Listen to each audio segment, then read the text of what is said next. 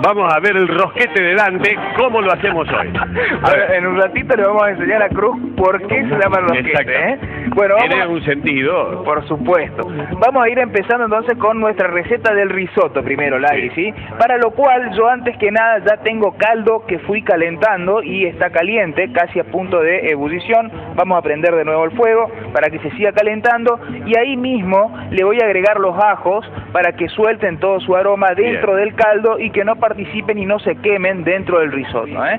Entonces, sartén también que ya está empezando a estar caliente, vamos a cortar un poquito de cebollas, que hay que tratar siempre de cortarlas un poquito finitas, del tamaño aproximadamente de un arroz, para que logremos eh, que se integre bien con todo el risotto Ah, bien y que quede perfecto, lo más chiquito que podamos. ¿eh? Y ahí lo vamos cortando de esta manera, ¿m? para obtener estos cortes pequeños.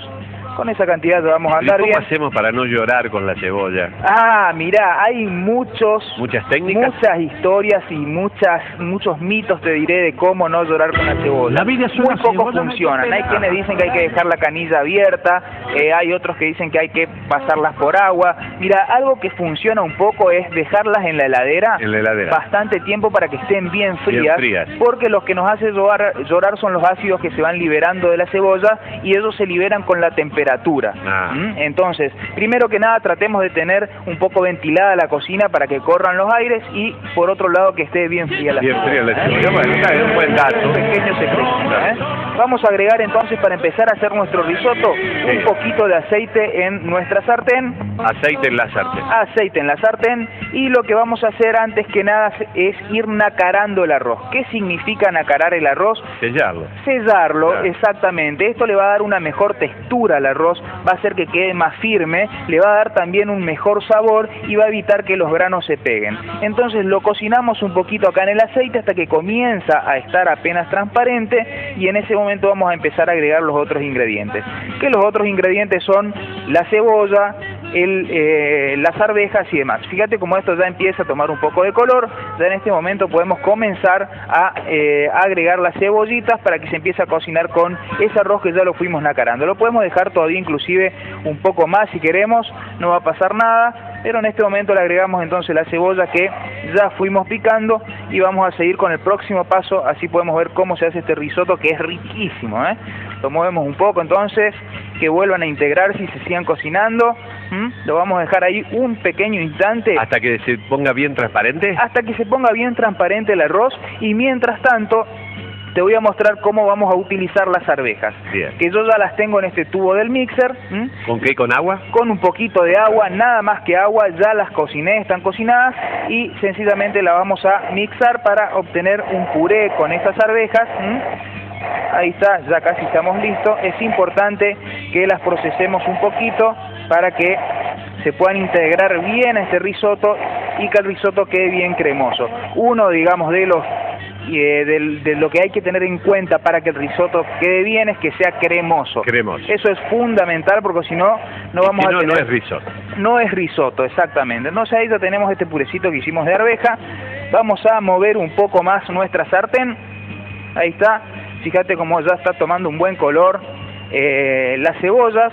Y ahora le vamos a agregar el vino, ¿eh? Vino. En este momento va el vinito. Le ponemos el vino para que le dé acidez al risotto y le vamos a dejar un instante que se vaya evaporando entonces el alcohol de este vino. Le vamos a agregar mientras tanto la pimienta. ¿m? Ay, perdón, eso era sal. Vamos con la pimienta entonces.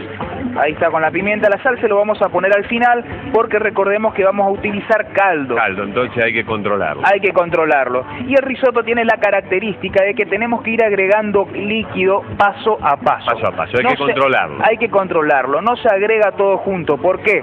Porque si agregamos todo junto, el arroz va a liberar menos almidón. Nosotros necesitamos que todo el almidón del arroz vaya directamente a la sartén para que quede bien cremoso este risotto. Entonces vamos a ir agregando de a una o dos cucharaditas A medida que se va evaporando. a medida que se va evaporando y lo vamos moviendo de esta manera o bien con una cuchara de madera lo vamos reduciendo hasta que se reduce todo el líquido y ahí volvemos, Volvemos a agregar, ¿eh?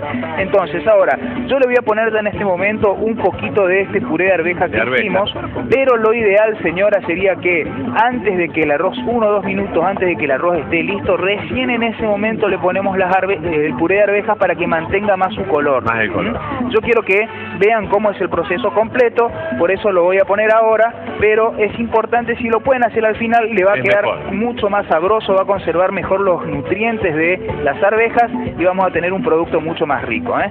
Entonces yo ahora me tengo que quedar acá Ahí no revolviendo. te podés apartar del risotto. No, hay, hay, que hay que controlar. quedarse controlando el risotto y cuidándolo. Está Es, es un buen dato el que das, lagarto, porque necesita que lo atendamos. Es como un niño, ¿eh? Exacto. No lo podemos dejar Para que el rosquete esté completo, digamos, salga bien, hay que atender al risotto. Exactamente. Ese es el- Así es el esa tema. la, la- la definición. Así es el tema, lagarto. Bueno, vuelvo en un ratito.